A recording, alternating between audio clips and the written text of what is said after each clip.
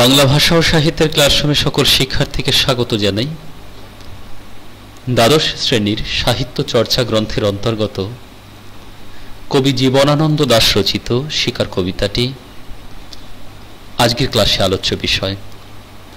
তবে সম্পূর্ণ কবিতাটিকে আমরা দুটো ক্লাসে বিন্যস্ত করব, যে দুটো ক্লাসের মধ্যে প্রথম ভোর এবং দ্বিতীয় ভোর। এই দুটি ভোরকে দুটি ক্লাসে বিন্যস্ত করে নিয়েছি। তাহলে তোমাদের খুব সহজ মনে হবে কবিতাটি। যদিও বেশ খানিকটা জটিল আর সকল কবিতা থেকে। আজকের ক্লাসে আমরা প্রথম ভোর, অর্থাৎ আকাশের রং ঘাস ফড়িংয়ের দেহের মতো কোমল নীল, এখান থেকে শুরু করে সবুজ নীল নানার মতো ঝিলমিল করছে। এই অংশটুকু দেখে নেব, তার সঙ্গে সঙ্গে কিছু প্রশ্ন আলোচনা করে দেব। ক্লাসে প্রবেশ করবার পূর্বে কবিতার প্রত্যেকটি লাইনের পুঙ্খানুপুঙ্খ বর্ণন এবং তার সঙ্গে সঙ্গে প্রত্যেকটি শব্দের বিস্তৃত বিবরণের পূর্বে আমরা কবি সম্পর্কে একটু জেনে নিই। কবি জীবনানন্দ দাস।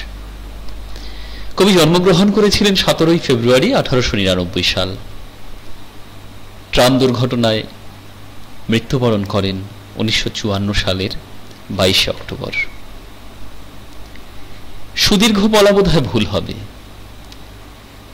এই দীর্ঘ জীবনের মধ্যে কবি অনুভব করেছেন বারে বারে একাকিত্ব আর কর্মের অনিশ্চয়তা। এই একাকিত্ব আর অনিশ্চয়তার ভয়ঙ্কর যন্ত্রণা কবিকে একটু একটু করে কুড়ে কুড়ে খেয়েছে। পাশাপাশি ছিল সাহিত্য রচনার পরেও পাঠক সমাজের কাছে সমাদৃত না হতে পারা। তাও কবিকে মানসিক যন্ত্রণা দিয়েছে বারে বারে। এ সকল কথা আমরা প্রথম পর্বে জেনে নেব। কবির রচনার বেশ কিছু রীতি আমরা লক্ষ্য করি। সেই সম্পর্কে কয়েকটি কথা প্রথমে বলে দিই। রবীন্দ্র পরবর্তী সাহিত্যের, রবীন্দ্র পরবর্তী সময়ের বাংলা সাহিত্যের একজন বিখ্যাত কবি। তবে এর সঙ্গে সংযোগ করি কবিতার প্রথম জীবনে যে সকল কবিতা সকল লিখেছিলেন, তার মধ্যে রবীন্দ্রনাথের সাহিত্যের ছাপ তা স্পষ্ট ছিল। সেগুলো পড়লে কখনো কখনো আমাদের মনে হয় যেন রবি ঠাকুরের সাহিত্যই পড়ছি। খটকা লাগে মনে। পরবর্তী সময়ে কবি জীবনানন্দ দাস তার সাহিত্যের রীতিকে বদলে নিলেন খানিকটি। তার সাহিত্যের মধ্যে আমরা যেটা দেখেছি বাংলা ভূমির সৌন্দর্য সম্পূর্ণভাবে বাংলা ভূমির সৌন্দর্য চিরন্তন রূপ তার সাহিত্যের মধ্যে স্পষ্টভাবে প্রকাশ পেয়েছে। তার সাহিত্যের আরেকটা বিষয় ছিল অনিশ্চয়তার জন্য এক অদ্ভুত রূপচিত্রময়তা। তার কাব্যের এই রূপচিত্রময়তার পিছনে দাঁড়িয়ে আছে মানসিক যন্ত্রণা। তাই সেই মানসিক যন্ত্রণা থেকে তিনি কাব্যের জগতে গিয়ে, কবিতার ক্ষেত্রে গিয়ে, রূপচিত্রময়তা অঙ্কন করে সেখান থেকে প্রশান্তি খুঁজে পেতে চেয়েছেন। সারা জীবন ব্যাপী ছিল তার জীবিকার অনিশ্চয়তা। আমরা যদি লক্ষ্য করি তার জীবনটিকে, তাহলে দেখতে পাই, কলকাতা ইউনিভার্সিটি থেকে ইংরেজি সাহিত্যে, ইংরেজি ভাষাকে নিয়ে তিনি এম পূর্ণ করবার পর কখনো বরিশালের ব্রজমোহন কলেজে, কখনো দিল্লির রামযশ কলেজে, কখনো কলকাতা সিটি কলেজে কিংবা মেদিনীপুরের খড়গপুর কলেজে, আবার কখনো হাওড়ার গার্লস কলেজে কিংবা চব্বিশ পরগনার বরিশা কলেজে ঘুরে বেড়াতে হয়েছে তাকে কর্ম অন্বেষণের তাগিদে। নানা অস্থিরতায় কেটেছে তার শিক্ষক জীবন। এর মধ্যে যে কথাটি উল্লেখ করতেই হয় তা হল, সিটি কলেজ এবং রামযশ কলেজে যেখানে তিনি চরম আর্থিক সংকটের জন্য এবং নিজের কর্মদোষের কারণে পেশা থেকে কিন্তু চ্যুত হন, যা তাকে ভয়ঙ্কর যন্ত্রণা দিয়েছিল। এই মানসিক যন্ত্রণা থেকে প্রশান্তি পাবার উদ্দেশ্যেই তিনি সাহিত্যের বুকে, সাহিত্যের মধ্যে, ইতিহাসের পাতায় হেঁটেছেন বারে বারে।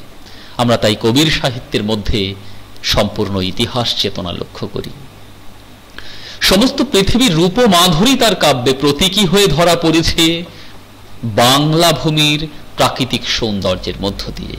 তাই তীব্র কণ্ঠে তিনি বলতে পারেন, বাংলার মুখ আমি দেখিয়াছি, তাই আমি পৃথিবীর রূপ খুঁজিতে যাই না। আসলে বাংলা ভূমির রূপের বৈচিত্র্যে তিনি এতখানি মশগুল হয়েছিলেন, এতখানি দীপ্তি অনুভব করেছিলেন যে তিনি বলতে পেরেছিলেন সেই রূপ মাধুরী অনুভব করে যে সমস্ত পৃথিবীকে আমি দেখতে সমর্থ হয়েছি।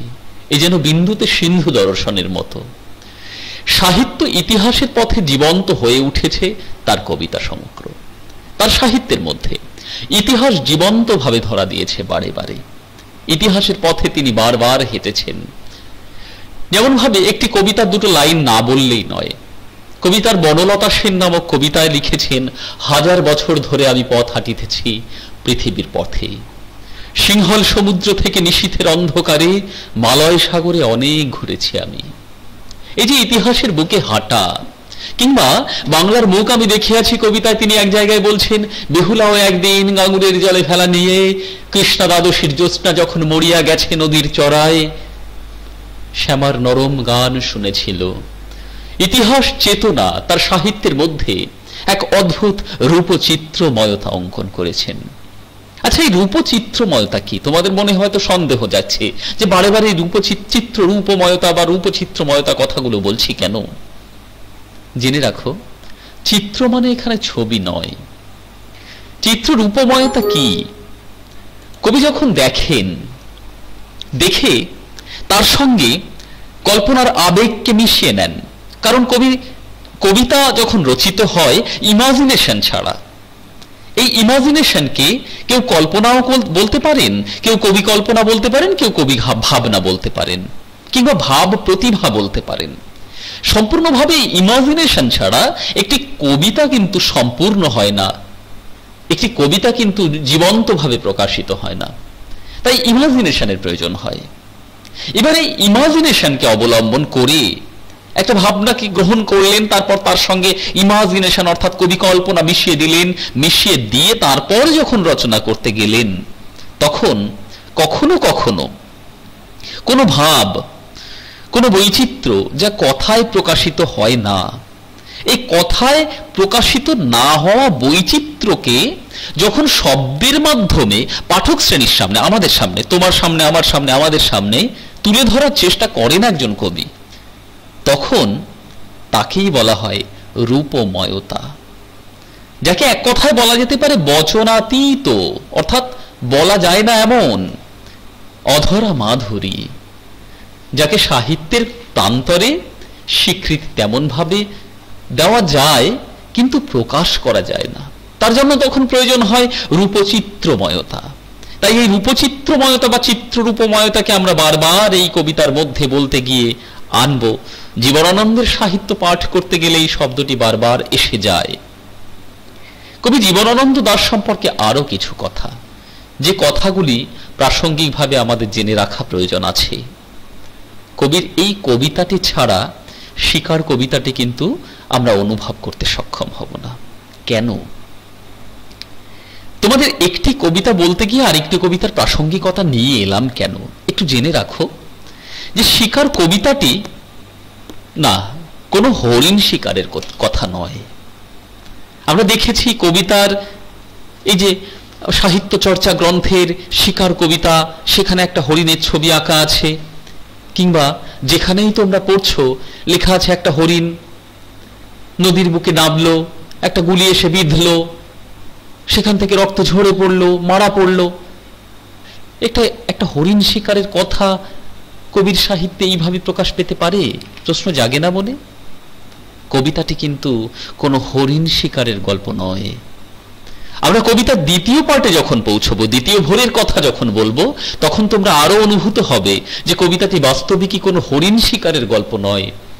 হরিণ শিকারকে সামনে রেখে কবি নিজের দুঃখের কথা নিজের কষ্টের কথা তুলে ধরেছেন। সেটা বলতে গিয়েই, সেটা বোঝাতে গিয়েই আমি এই কবিতার কয়েকটা লাইনকে তুলে ধরি তোমাদের সম্মুখে।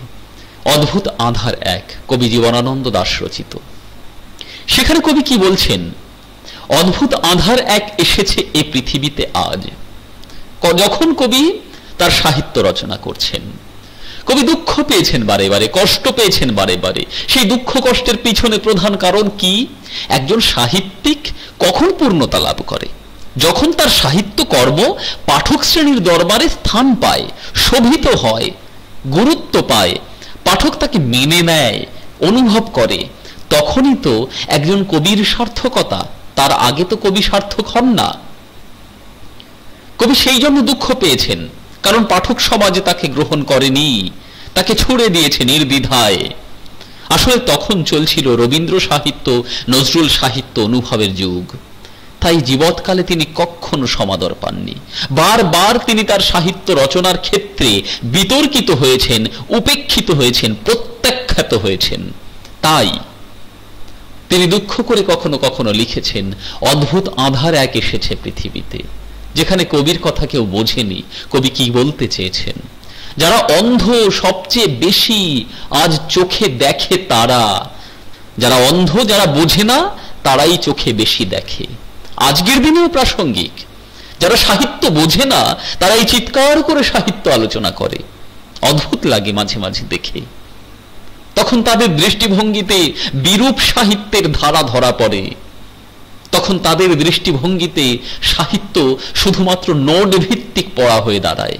বড় দুঃখ জাগে মনে। কবি সে কথাই বলতে চেয়েছেন তখন, আজকের দিনেও দাঁড়িয়ে তা প্রাসঙ্গিক। যাদের চোখ নেই, তারা বেশি দেখে ফেলে। যারা সাহিত্য বোঝে না, তারা বেশি বুঝে ফেলে। যাদের হৃদয়ে কোনো প্রেম নেই, প্রীতি নেই, করুণার আলোড়ন নেই, পৃথিবী অচল আজ তাদের সুপরামর্শ ছাড়া। কবি দুঃখ করে বলছেন, বড় বেদনা কাতর হয়ে বলছেন, ব্যথিত হয়ে বলছেন যে যাদের হৃদয়ে কোনো প্রেম নেই, প্রকৃতির প্রতি ভালোবাসা নেই, সাহিত্যের প্রতি আনুগত্য নেই, ইতিহাসের প্রতি মর্মবোধ নেই, বর্তমান কালের প্রতি সম্পূর্ণ জ্ঞান নেই, সেই মানুষেরা যাদের বুকে প্রেম নেই, প্রীতি নেই, করুণার আলোড়নও যাদের নেই, তারাই আজ পৃথিবী চালাচ্ছে। পৃথিবী অচল আজ তাদের সুপরামর্শ ছাড়া। কবি ব্যথিত হয়ে চিত্তে দুঃখ প্রকাশ করে বলতে চেয়েছেন, আসলে তিনি সমাদর পাননি জীবৎকালে। তিনি উপেক্ষিত হয়েছেন, প্রত্যাখ্যাত হয়েছেন, বিতর্কিত হয়েছেন, তাই দুঃখ করে কথা বলছেন। আসলে কবির সাহিত্যে সামগ্রিকভাবে কি ধরা পড়ে? কবির এই দুঃখের কথা কেন? সে কথা বলে দিই। কবি আসলে বলতে চাইছেন, জীবনের ব্যর্থতা। কবির সাহিত্যে যে কথাগুলো জানি আমরা বুঝতে পারি। জীবনের ব্যর্থতা, অনিশ্চয়তা, আকাঙ্ক্ষার অপঘাত। তার জীবনকে আশাহীন, আনন্দহীন নৈরাশ্যের যন্ত্রণায় যুক্ত করেছে। এই জীবন বেদনা যুক্ত হয়েছে তার রোম্যান্টিক জীবনের সঙ্গে। একটি মন রোম্যান্টিকতায় পূর্ণ। প্রকৃতির প্রতি রোমান্টিকতা, আকাশের উন্মুক্ত ভাবের প্রতি রোম্যান্টিকতা সমুদ্রের ঢেউয়ের প্রতি রোম্যান্টিকতা সবকিছুর মধ্যে রোম্যান্টিকতা এই রোম্যান্টিক জীবনের সঙ্গে যদি আশাহীন, আনন্দহীন, নৈরাশ্য, কর্মহীন বেদনা তার সংযুক্ত হয়, তখন তা হয় বেদনাযুক্ত রোম্যান্টিকতা কবির কবিতায় সেই বেদনাযুক্ত রোম্যান্টিকতাই ধরা পড়েছে। বাস্তব সমাজ সমস্যা কবির মুক্ত ভাবটাকে বাঁধা দিয়েছে। তাই তিনি বারে বারে ইতিহাসে আশ্রয় খুঁজে নিতে চেয়েছেন। যখন বাস্তব সামাজিক সমস্যা, পরিস্থিতি, তা একটা মানুষকে বাধা দেয়, তখন আমাদের কি করতে হয়? আমাদের সুখ খুঁজে পেতে হয় তবুও বারে বারে। তখন আমরা কি করি? কবির মতন ইতিহাসে আশ্রয় নিই। পুরনো দিনে ফিরে যাই। আহা, সেই দিনগুলোই ভালো ছিল, মনে মনে ভাবি। কবিও ঠিক তাই করেছেন, তাই বারে বারে তার সাহিত্যের মধ্যে আমরা কিন্তু ব্যক্ত ইতিহাস চেতনাকে পাই। এই কবিতার মধ্যেও আমরা ইতিহাস চেতনা পাব। প্রাসঙ্গিকভাবে সে কথাও বলব। সাহিত্যে, সাহিত্য তাই কখনো কখনো হয়ে উঠেছে সাংকেতিকতায় পূর্ণ, কোহেলিকায় ঘেরা এক বিষণ্নতাপূর্ণ সাহিত্য। তাই কবির সাহিত্য কেমন হয়ে উঠেছে? সাংকেতিকতায় পূর্ণ। পরিচ্ছন্নভাবে তিনি প্রকাশ করেননি। তিনি দুর্বোধ্য ভাষায় যেন বলতে চেয়েছেন কখনো কখনো। কুহেলিকায় ঘেরা, সম্পূর্ণভাবে অনুভূত হয় না কবি কি বলতে চাইছেন। তাই সচেষ্ট থাকতে হয় কবি সাহিত্যকে অনুভব করবার। আর বিষণ্নতাপূর্ণ দুঃখ ঘিরে আছে যেন কবির চারিপাশকে। সামগ্রিকভাবে কবির সাহিত্যের মধ্যে এই যন্ত্রণাগুলো সংযুক্ত হয়েছে। আমরা এবার কবিতায় চলে আসি। কবিতায় আমি যেটা বারবার বলেছি তোমাদের আর আগেও, চিত্ররূপময়তা প্রকাশ পেয়েছে। আমি আরেকবার স্মরণ করিয়ে দিই। এই চিত্ররূপময়তা আসলে কি? চিত্ররূপময়তা হলো তাই যেখানে কথায় প্রকাশ করা সম্ভব নয় এমন কোনো দৃশ্য যা শব্দ দিয়ে আঁকা যায় না কিন্তু তাকে শব্দ দিয়ে আঁকার প্রচেষ্টা করা। এই যে প্রচেষ্টা করা, বচনাতীত সৌন্দর্য, অধরা মাধুরীকে শব্দের মাধ্যমে প্রকাশ করবার প্রচেষ্টাকে বলা হয় চিত্ররূপময়তা। কবি বাংলাকে ভালোবাসেন। তাই কবি বাংলার কথা প্রথমেই বলেছেন, ভোর, একটা ভোরের দৃশ্য আমরা দেখতে পাচ্ছি। আমি বলেছি, আজ প্রথম ভোর পড়াবো। ভোর আকাশের রং ঘাস ফড়িংয়ের দেহের মতো কোমল নীল, চারিদিকের পেয়ারা ও নোনার গাছ টিয়ার পালকের মতো সবুজ। একটি তারা এখনও আকাশে রয়েছে। আমরা এই অংশটুকু প্রথম বুঝে কি দেখতে পাচ্ছি? একটা ভোর নেমে এসেছে। ভোর নেমে আসার সঙ্গে সঙ্গে একটা সূর্যের উদয় ঘটে। আর সূর্য যখন উদিত হন, তখন সূর্যদেবের আবির্ভাবের কারণে সমস্ত তারার দল দিনের আলোর আধারে পৌঁছে যায়। অর্থাৎ সমস্ত তারারা দিনের তীব্র আলোর পিছনে অবস্থান করে, তখন তাদের আর খুঁজে পাওয়া যায় না। ঠিক যেমন ভাবে কবি তার সাহিত্যের ব্যাপ্তি নিয়ে সাহিত্যের জগতে এসেছিলেন, বাংলা সাহিত্যের ক্ষেত্রকে তিনি তার ভাবনা দ্বারা রাঙিয়ে তোলার, তোলবার প্রচেষ্টা করেছিলেন। কিন্তু পাঠক সমাজ বুঝে ওঠেনি। তাই বুঝে ওঠেনি বলে আমরা লক্ষ্য করেছি, অন্য সাহিত্য দ্বারা মশগুল ছিলেন তারা। কবি যেন একটি তারা এখনও আকাশে রয়েছে, এই কথাটির মধ্য দিয়ে বোঝাতে চেয়েছেন নিজের কথা, নিজের অবস্থানের কথা। কেন বলছি কথাটি? কবিতার শেষ পর্যন্ত পৌঁছতে পারলে এভাবে শুনতে শুনতে অবশ্যই অনুভূত হবে। তাই আমি প্রথমেই বলেছি, শিকার কবিতায় কোনো হরিণ শিকারের গল্প নয়। কোনো হরিণের গায়ে হরিণের দেহ গুলিবিদ্ধ হওয়ার কথা নয়। সামগ্রিকভাবে কবি চিত্তের ব্যথা যন্ত্রণা, কবি শিকার হয়েছেন, সে কথা কবি বলেছেন। কীভাবে? বলব। তাহলে আকাশের রং ঘাস ফড়িংয়ের দেহের মতো কোমল নীল। এই নীল শব্দটি আমরা কবিতায় চারবার পাব।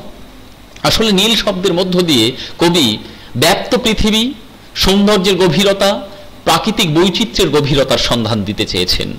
নীল রং গভীরতার প্রতীক, আমরা জানি। তাহলে আকাশের রং ঘাস ফড়িংয়ের দেহের মতো কোমল নীল। আকাশের রং ঘাস ফড়িংয়ের দেহের রং কেমন হয়? সবুজ হয়।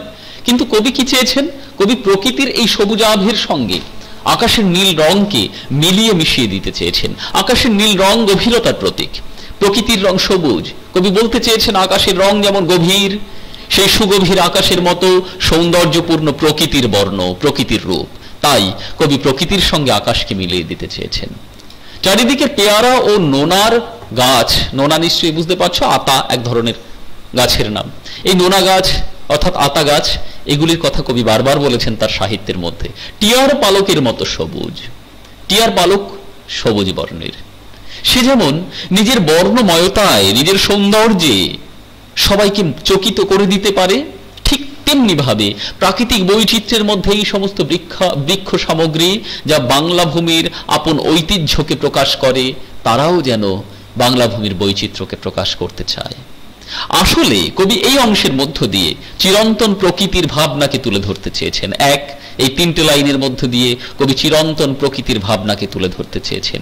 একটি তারা এখনও আকাশে রয়েছে। কবি বলছেন, এই ভোরে একটি তারা এখনও আকাশে রয়েছে, যে বৈচিত্র্যময় প্রকৃতির প্রান্তরে একটি তারা আকাশে রয়েছে। কিন্তু সেই তারাটি আকাশে আছে কেন?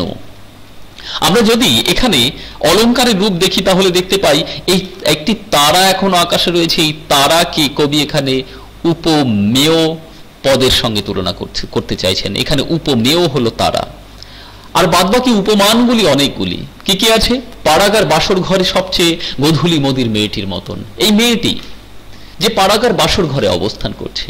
আমরা এই জায়গার সঙ্গে কি করে এখানে মিলিয়ে দিতে পারি, একটু খুঁজে নেওয়ার চেষ্টা করি। পাড়াগার বাসর ঘর। নিশ্চয়ই বুঝতে পারছ, দারিদ্রতাপূর্ণ।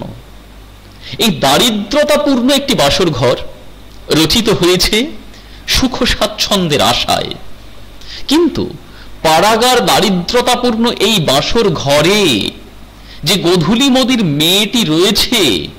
গধুলি মদির মানে হলো গধুলিতে অবস্থান করা। গধুলি মানে হলো একেবারে বিকেল, যখন সূর্য অস্তমিত হয়েছে, তার রঙিন আভায় চারিদিক ভরে গেছে, আগামী আসন্ন সন্ধ্যার অন্ধকারকে সূচিত করছে। এই আগামী আসন্ন সন্ধ্যার অন্ধকারকে যখন সূচিত করল গধুলি কাল, সেই গধুলি কালের মতো মেয়েটি পাড়াগার বাসর ঘরে। কেন? পাড়াগার বাসর ঘরে গধুলি মদির মেয়েটি বলা হলো কেন? কারণ সেই মেয়েটি জানে না, এই বাসর ঘর তার জীবনে চিরকালীন সৌন্দর্যকে, সুখকে আনতে চলেছে কিনা সে জানে না। আগামী সময় সন্ধ্যার অন্ধকার ঘনীভূত হতে চলেছে, দুঃখ আসতে চলেছে তার জীবনে। যেমন ভাবে একটি তারা আকাশে, সেও কিছুক্ষণের মধ্যেই সূর্যের আগমনের ফলে কোথায় হারিয়ে যাবে আলোর অন্ধকারে? শব্দটা ব্যবহার করলাম, আলোর অন্ধকারে। কেন? অসংখ্য আলো অন্ধ করে দিতে পারে একটি মানুষকে। তাই অসম্ভব আলোর আধারে রাতের সমস্ত তারারা দিনের আকাশেও থাকে। তাদের দেখা যায় না। কবি এই তারা, যে তারাটি এখনও আকাশে আছে, সেই তারাটির এই দুঃখময়তার সঙ্গে পাড়াগার বাসর ঘরে গধুলি মদির মেয়েটির সঙ্গে তুলনা করলেন। তাহলে পাড়াগার বাসর ঘরে গধুলি মদির মেয়েটি যেমন ভাবে আগামী সময়ে সন্ধ্যার অন্ধকারে অবশ্যই দুঃখের অন্ধকারে ডুবতে চলেছে, কিন্তু ক্ষণিকের জন্য আনন্দ আনন্দ পেল, ঠিক তেমনি ভাবেই তারাটি আকাশে এখনও দাঁড়িয়ে আছে। যে সূর্যের আলো এসছে তবু আমি বলতে চাইছি, তারাটি বলছে যেন যে আমি আছি, দেখো, থাকব। তারপর, কিংবা আবার কিংবা দিয়ে আমরা এখানে এই উপমা অলঙ্কারটিকে বলতে পারি মালোপমা। মালোপমায় কি হয়? একটা উপমেয় যাকে ব্যাখ্যা করেন আর উপমান অনেকগুলো থাকে, যার সঙ্গে তুলনা করেন। দ্বিতীয় ক্ষেত্রে আমরা কি দেখছি? মিশরের মানুষই তার বুকের থেকে যে মুক্তা আমার নীল মদের গেলাসে রেখেছিল হাজার হাজার বছর আগে, এক রাতে তেমনি। কবি কিন্তু এখানে এই যে বললেন, নীল মদের গেলাসে রেখেছিল, আমার নীল মদের গেলাসে। কিন্তু আমার কবি নিজেকে এখানে বসাতে চাননি, কবি বলতে চেয়েছেন যেন বোঝাতে চেয়েছেন, কবি সেই সকল মানুষেরই প্রতিনিধি হয়ে আজও যেন অবস্থান করছেন। আসলে মনুষ্য সমাজের প্রতিনিধি আমরা আমরা বয়ে চলি তাদের রক্ত। যেমন ভাবে আমরা লক্ষ্য করি কবি জীবনানন্দ দাস তার বনলতা সেন কবিতায়, এই বনলতা সেন কবিতায় তিনি বলছেন, হাজার বছর ধরে আমি পথ হাঁটিতেছি পৃথিবীর পথে, সিংহল সমুদ্র থেকে নিশীথের অন্ধকারে মালয় সাগরে। হাজার বছর ধরে একটা মানুষ পথ হাঁটতে পারে নাকি? না। তাহলে কীভাবে হাঁটে? কীভাবে হাঁটে? আসলে আমরা আমরা কি বেঁচে থাকি? অবশ্যই বেঁচে থাকি।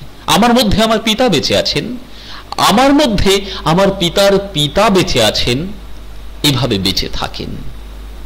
তার তার তার বৈচিত্র্য, তার জীবনের ভাবনা তা আমার মধ্যে প্রতিফলিত হয়। জগৎ সৃষ্টির প্রারম্ভ থেকে যে মানুষটির মাধ্যমে এত বৃহৎ জগৎ সৃষ্ট হয়েছে, সেই মানুষটির সমস্ত গুণাবলী প্রচ্ছন্নভাবে আমাদের মধ্যে কখনো বা প্রকটভাবে অবস্থান করছে। কবি যেন বোঝাতে চাইছেন সেই ইতিহাস চেতনার কথা। যে ইতিহাস চেতনায় মিশরের একটা মানুষই, এক নারী তার বুকের থেকে নীল মদের গেলাসে একটা মুক্ত রেখেছিল খানিকটা সময় আনন্দ পাবার আশায়। কিন্তু তা ক্ষণিকের, তারপরে তার জীবনে নেমে আসে দুঃখ। হাজার বছর আগে এক রাতে তেমনি তেমনি একটি তারা আকাশে জ্বলছে এখনও।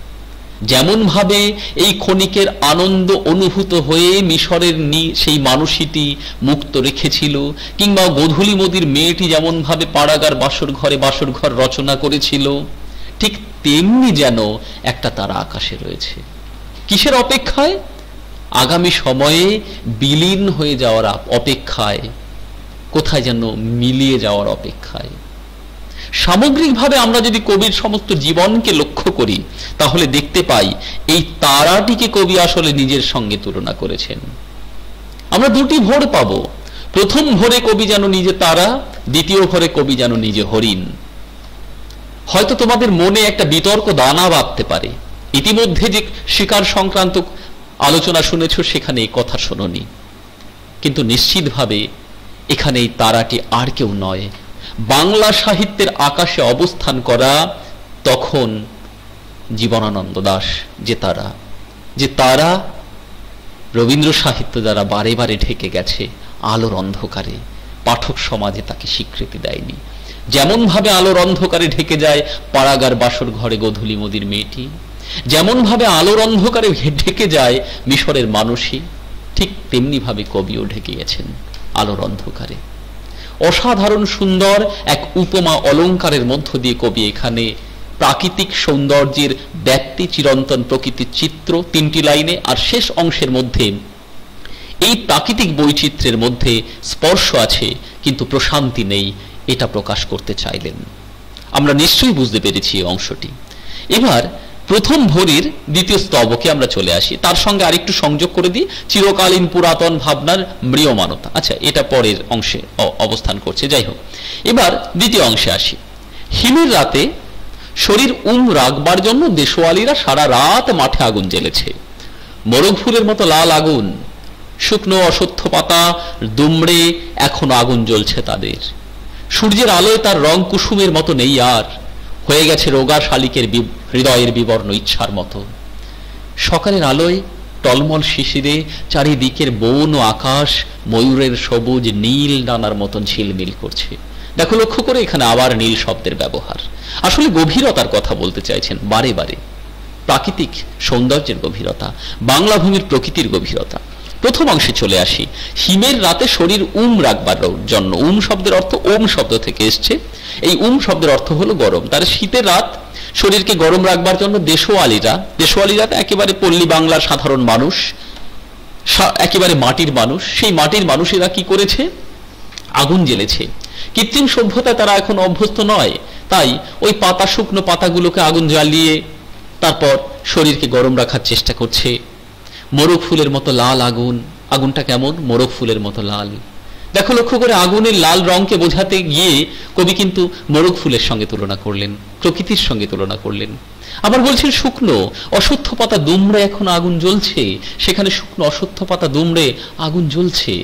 এই তিনটে লাইনের মধ্য দিয়ে আমরা কিন্তু এই যে প্রাকৃতিক বৈচিত্র্য এবং প্রকৃতির প্রতি শ্রদ্ধাবোধ, প্রকৃতিকে অবলম্বন করে বেঁচে থাকার স্বপ্ন, সেই স্বপ্নকে দেখতে পেলাম। এবং প্রকৃতির প্রতি শ্রদ্ধা বোধকে আমরা লক্ষ্য করলাম। পুরাতন ভাবনার প্রতি আবেশকে লক্ষ্য করলাম, যে আবেশ কবি বারে বারে লক্ষ্য করেছেন, দেখিয়েছেন তার সাহিত্যে। শুকনো অসত্যমতা দুমড়ে এখনও আগুন জ্বলছে। কিন্তু যখন দিন হয়েছে, সকাল এলো একটা। সেই সকালে কি হলো? সূর্যের আলো যখন প্রকাশিত হলো, তার রং কুসুমের মতো নেই আর। যখন সূর্যের আলো আধুনিক সভ্যতার ধারা এখানে সূর্যের আলো আর কিছু নয়, আধুনিক সভ্যতার ধারা, পরিবর্তন হওয়া সভ্যতার ধারা। যে সভ্যতার ধারায় কবি বারে বারে ব্যথিত হয়েছেন, কবির মনকে অনুভব করেননি কেউ, কবির গুণাবলীকে অনুভব করেননি কেউ, তাই কবিকে বারে বারে প্রত্যাখ্যাত হতে হয়েছে, বিতর্কিত হতে হয়েছে, বিতাড়িত হতে হয়েছে কর্মক্ষেত্র থেকে। তাই সূর্যের আলোয় তার রং, অর্থাৎ আধুনিক সভ্যতার দ্বারা ওই প্রকৃতির রং কুসুমের মতো নেই আর। অর্থাৎ প্রকৃতির রং খানিকটা ম্রিয়মান হয়েছে, অত্যন্ত গুরুত্বপূর্ণ বুঝে নেওয়ার জায়গা। সুতরাং সূর্যের আলোয় আধুনিক সভ্যতার দ্বারা ওই রং, প্রকৃতির রং কুসুমের মতো আর নেই, ম্রিয়মান হয়ে গেছে। প্রকৃতি এখন খানিকটা ম্রিয়মান আধুনিক সভ্যতার দ্বারা। হয়ে গেছে রোগাশালিকের হৃদয়ের বিবর্ণ ইচ্ছার মতো। কবিতার সঙ্গে উপমিত করলেন এই অংশটিকে। এবার এই অসত্য পাতার আগুনকে কিসের সঙ্গে তুলনা করলেন? কুসুমের মতো নেই আর বলে তারপর তুলনা করছেন, উপমিত করছেন। এই অংশের দ্বারা হয়ে গেছে রোগা শালিকের হৃদয়ের বিবর্ণ ইচ্ছার মতন। মৃয়মান এই আলোকে তিনি কিসের সঙ্গে তুলনা করলেন? রোগা শালিকের হৃদয়ের বিবর্ণ ইচ্ছা। রোগা শালিক, একটা শালিকের জীবনের পূর্ণতা কি?